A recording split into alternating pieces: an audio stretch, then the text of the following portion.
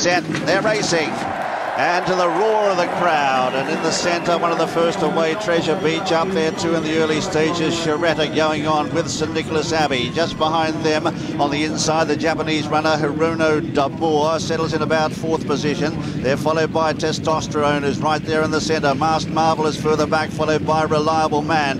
Danedream is on the inside. Workforce in about the, this, about the middle of the field as they settle. Galikova on his inside, followed then by Meandre. Then Snow Fairy back in the ruck with So You Think in company with Sarafina. Then uh, Nakayama Festa, who's second last, and Silver Pond is at the tail of the field. On settling down though, and it's Shareta, the pacemaker, who's out in front doing his job well. And uh, is uh, being preceded by Treasure Beach. Treasure Beach goes on here from Shareta. They're two lengths to Testosterone. Further back in fourth position, then is St Nicholas Abbey on the inside of Masked Marvel. Meandre, the white face on the outside, the yellow cap with the, the yellow colours, dark blue cap. In behind runners is Workforce right in the middle of the pack. Snow Fairy is further back. Sarafina's very wide as they race now towards the far edge of the course. 1,200 metres left to travel, six furlongs from home. And out in front, Treasure Beach from Shareta. Then in third is St Nicholas Abbey from Testosterone, followed then by Hiruno d'Amour on the inside of Masked Marvel. A length and a half to Danedream, moves further back in the field there in the orange jacket, followed then by So You Think, who's dropped back to about third last. Meandre is about, got about six runners behind him. Snow Fairy and Reliable Man are two of them. They're followed then by Galikova, who's trying to get up on the rail. Then Nakayama Festa, followed then by Workforce, who's well back again this year. So You Think's only got three behind him, and Silver Pond is one of them. It's now young Joseph O'Brien who drives St Nicholas Abbey up in the centre to take the lead as they come to the home turn on the inside Treasure Beach. They're followed then by Shareta, who's uh, battling on well. They're followed then behind them by Danedream, and out wider then is Hiruno d'Amour, followed by Snow Fairy, who's battling on well. It's anybody's race, the arc here, as they race up now, halfway up the home straight. And now Danedream for Germany takes it up clearly, has sprinted three lengths in front of Shareta, followed by St Nicholas Abbey. Snow Fairy coming late, and So You Think from the clouds, but the bird has flown. Danedream goes on to win the arc for Germany. In second place is Sharetta, and third then the Snow Fairy, followed then by So You Think a gallant fourth, came from nowhere. They were followed then by St Nicholas Abbey, further back Sarafina, who couldn't get into it, Silver Pond Meandre, further back in the field then Nakayama Festa, couldn't get near them this year, and uh, among the tail enders as they pull up uh, Treasure Beach, Masked Marvel, and Reliable Man and Workforces among the tail enders as well. But it's Danedream who's won it for Andrasch Starke and uh, and also for Peter Schiergen, the second German-trained winner of the Prix de l'Arc, the other being Star Appeal at an enormous price. But this filly, who uh, was third in the Italian Oaks, uh, third in the Italian Derby and winner of the Oaks in uh, Italy, has come good, and she's won it by a street. Look at this. Danedream has won it for Peter Schiergen. And then in second was Shareta, who was there for a long way. In third is Snow Fairy, a gallant performance. The former Australian champion, So You Think, has come from third last, an enormous uh, performance.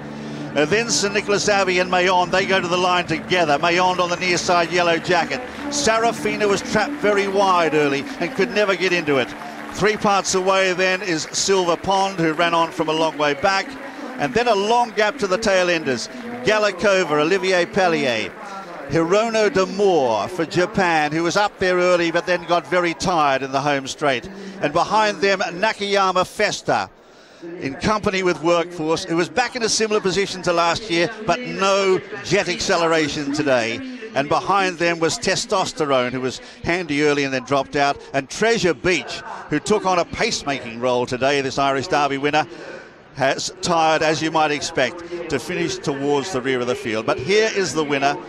And we said beforehand, one of the best collection of horses in Europe seen for many years a true vintage arc on paper, and this filly, Danedream, has absolutely sluiced in. Here I am with the winning trainer, Peter Schiergen. What a moment this is for you. The greatest moment in my race sport. It's fantastic. I don't believe it. She's so easy winner. Well, you say you don't believe it. The stands were very quiet because they couldn't believe that this filly's come sort of out of the blue, really.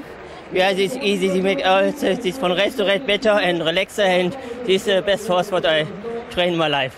First German train winner since Star Appeal. How special is that for you? It's a great moment. Perfect. We'll let you go and celebrate. Well done. Thank you.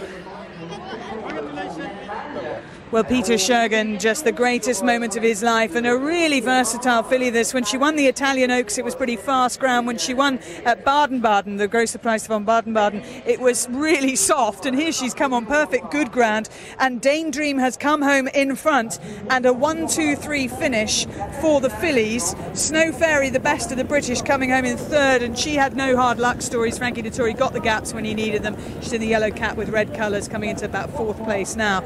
But an extraordinary race, really, because Shareta, who was there as a pacemaker for Sarafina, managing to hang on and take second place. But Danedream's blown them away, hasn't she? Well, uh, well, which seems a strange result, but this filly has won a long way. Uh, she's, you know, this filly by Lomitas, she's just galloped them into the ground. She's won quite a long way, and the ground is what we described as good ground. So basically, uh, there's no real excuses. We didn't see horses getting knocked over. It looked a clean run race. Everybody seemed to be kept straight. But this filly is obviously a very much improving three year old filly.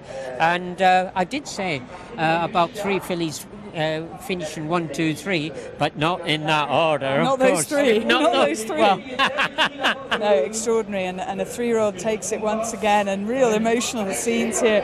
Andrasch Starke, who rides this filly, you know, the, the, Germany will go mad for this. I mean, this is a real boost for their breeding, for their racing, for, for them in terms of, of sport. I mean, it's a long time since Star Appeal, 1975 it, it was. a long time.